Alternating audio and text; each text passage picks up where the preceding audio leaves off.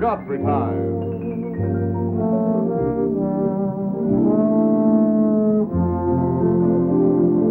You say that like there was a funeral about to pass or something. Jackie Gleason's with us again this morning. Thank you. Call the Happy Corpse. the big four. The big nine. Oh. Thought he was talking about me, girls. How are you? Well, it's nice to see you. Tony Marvin, pretty boy. Oh, my. And we have a s- surprise for Jackie. Gentlemen, are you ready? Lee?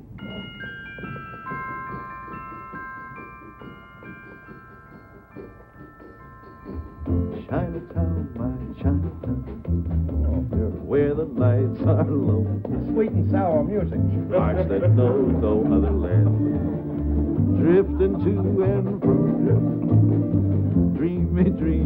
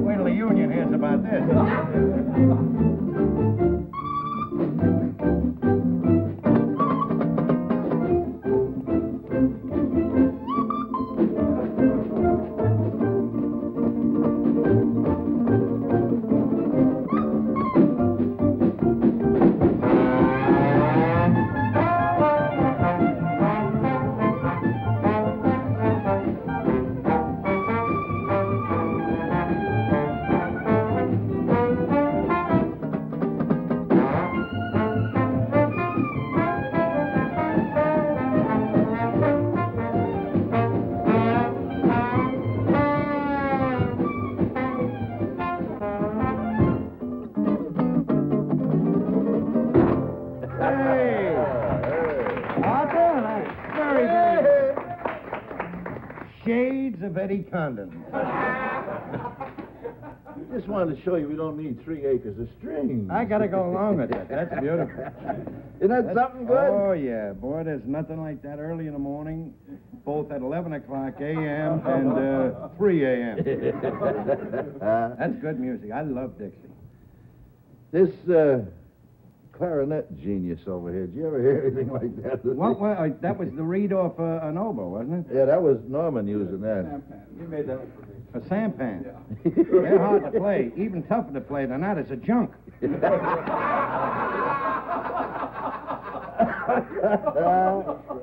Yeah, a three-string junk. A three-string junk. It's hard to get those sails under your arm.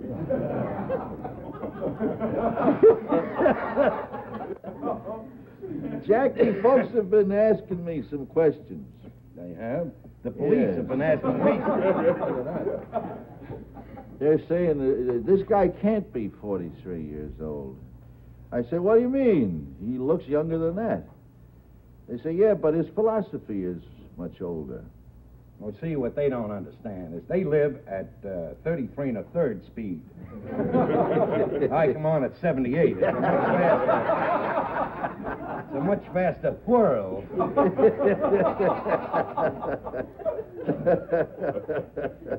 Don't you think he's a young-looking 43, ladies? Huh? You know, if I do know anything, you know why I know it? Because I'm awfully nosy.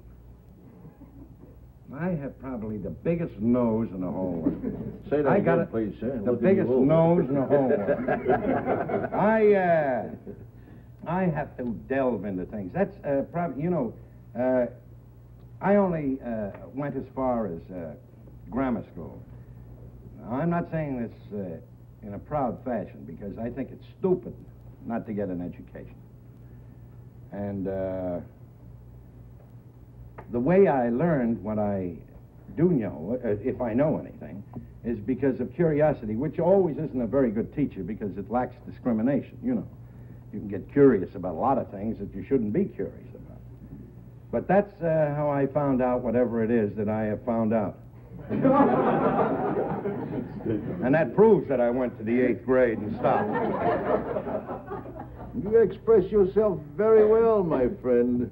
What kind of books do you read, if you ever read, do you? I certainly do. I read about six books a week uh, when I'm working. When I'm not working, I read about ten. What And kind I- of book?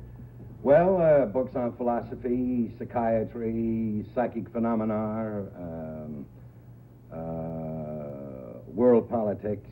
Do you really? Mhm. I found out that there's a great similarity between world politics and uh, television administration.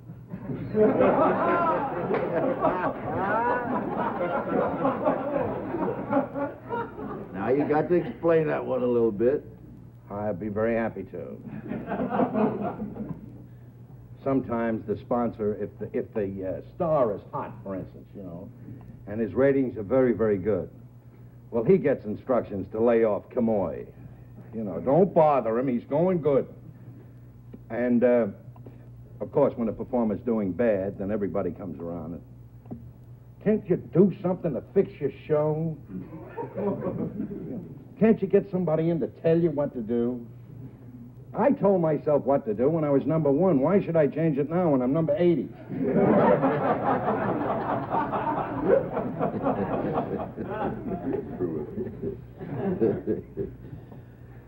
Uh, would you, if you had your life to live over again now, having reached this ripe old age, would you would you have gone in a different direction?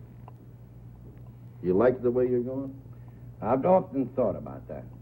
Probably the only things I would like to redo are some of the incidents in my life where I have, not on purpose, but unconsciously hurt other people. Those are probably the only things I'd like to do over again. I've had a pretty good life. When you consider the fact that I start with the difference between me and Horatio Alger, for instance, with the exception of morals, was 36 cents. we both started from the bottom. Like one time when I signed that $11 million contract with Buick, a guy came up and who was an advisor from CBS, and he said, "Now, don't dare mention that they have just signed you for all that money." I said, "Why?" He says, "Because the public's going to hate you." I said, "Well, what did I do? Did I shoot somebody to make this money? Did I kill anybody?" I was just fortunate enough to have some stale jokes that they liked, and they're giving me this money. I said, I think America would be very happy to understand this. Because if I can make that kind of money with my talent, they ought to be ready to become billionaires, you know. and uh, those are the things that surprise me about television. The taboos, the things you're not supposed to let the public know about yourself. I figure there's two ways to go. A long time ago in pictures, in order to be considered a great star, you would pull up in front of the studio and roll out a red rug and jump out with two leopards on a string, you know, and have a, coat made out of uh, some kind of mink that there's only four of. And you would throw a few hundred dollars up in the air and walk through the shower. What a picture. You know, and the public said, no, that's a star. well, today, none of that. If anybody interviews you, you're going to say, no, I like to eat plain food. I don't like to eat plain food. I'd like to have some sparrow tongues if I could get a hold of it. ate that. I ate that plain food before I got it. You know. I want to change all that. When I started out in show business, the reason I wanted to become a star is so that it could, I could have everything in the world I thought I wanted. Suddenly, I got enough cabbage to get it, and everybody's saying, "Don't get it." you know, when a guy becomes a star, in order to appease the public, he becomes an unwilling miser hoarding ostent- ostentation. Why should you be like that? Beautiful line. An unwilling miser hoarding ostentation. Why should you? I had a little trouble with ostentation. and the reason I had trouble with it is they keep saying to me, don't have it. Yeah, don't have it. Could I have another Coke? another Coke, Bring La Rosa. Thank you. Put a little blood in this one. All right, I'll, I'll hold on to this. There's just enough. this is up here to take me to the commercial. This this young man has not only a very able and competent wit, he has uh, in, inside of that waistline is a whole heck of a lot of intestinal fortitude. There should be. There's enough room, I'll tell you that. God bless you, Jackie Gleason. You're a refreshing guy to talk to. Can we give him a rest a minute and you uh, sing a song for him? He's never heard you really sing. Sit right there. and I sing heard I heard them once, but I'm glad that they're going to sing because I love that stuff. Sing right me. to him now. I wish I were in a What canoe. key do you want? you, you five get in the canoe, brother. I want to see you. See, you want to Queen Mary canoe will get in. There's your C. Be sure it's true when you say, I love you, I love you. It's a sin to tell a lie. Millions of hearts have been broken just because these words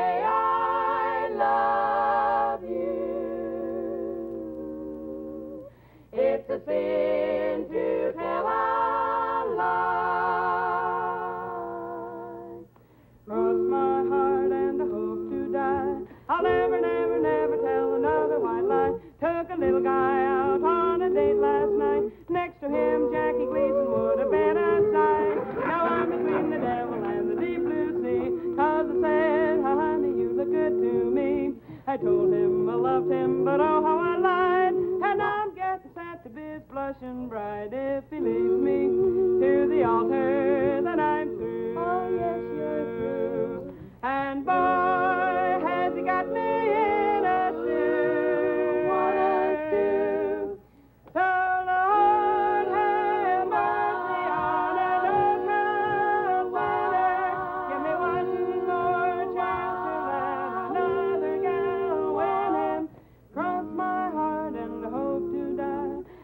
never, never, never tell another lie. No, I'll never tell another white lie. Never, never tell another white lie.